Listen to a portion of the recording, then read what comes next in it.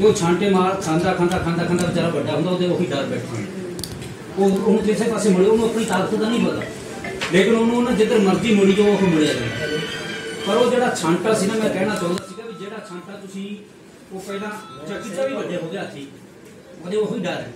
ਇਹ ਸਾਡੇ ਹੁਣ ਜਿਹੜੇ ਪੁਰਾਣੇ ਵੱਡੇ ਹਾਥੀ ਆ ਨਾ, ਉਹ ਤਾਂ ਉਵੇਂ ਚੁੰਬੜਿਆ ਡਰ ਤੋਂ ਹੈ।